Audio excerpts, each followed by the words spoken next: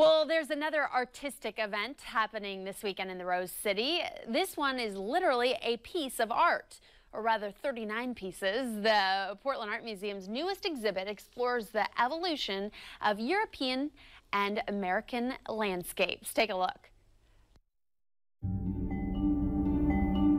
This is Seeing Nature, masterworks from the Paul G. Allen family collection. We partnered with the Portland Art Museum to bring this together. It's really part of uh, our initiative to bring art into the public realm. 39 masterpieces come together for the first time ever. So it's a major show looking at the history of landscape painting.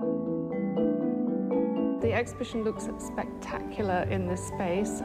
I love the way it's been designed uh, for the Portland Art Museum and I just think uh, that seeing all these works together and they've come from many different locations, it's really amazing. It opens this Saturday to the public and will be open through January of 2016. It's really something that I encourage everyone to come see because again, it's a once-in-a-lifetime exhibition. Particularly like the Maxfield Parrish work, and it's just a beautiful painting uh, in autumnal colours.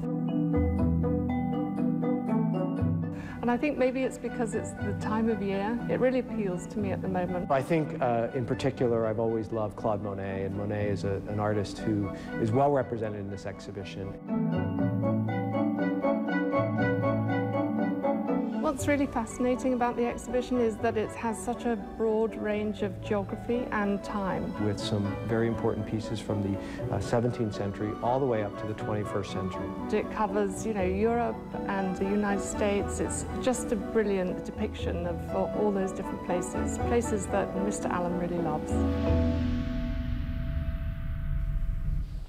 You can check out the new Paul G. Allen Family Collection starting tomorrow at the Portland Art Museum.